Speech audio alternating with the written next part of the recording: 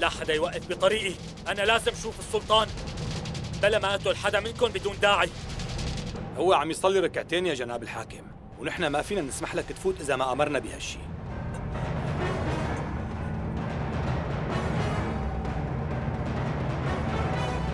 أي حدا بده يمنعني فوت لعند السلطان هلأ؟ يعتبر حاله ميت